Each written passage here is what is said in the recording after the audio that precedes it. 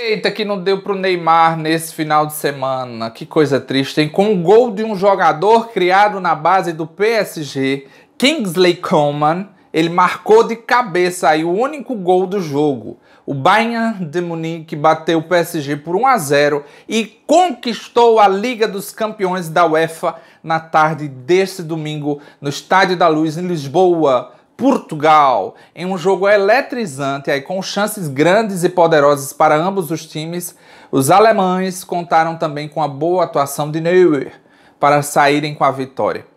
Já o Neymar, ele chegou a ter boas oportunidades, inclusive tendo a oportunidade de deixar a sua marca no primeiro tempo, mas esbarrou aí uma grande defesa do goleiro do clube bávaro. Uma pena, né, Neymar? Nem a caixa de som adiantou para que você fosse bem sucedido. Fazer o quê, né? Lamento.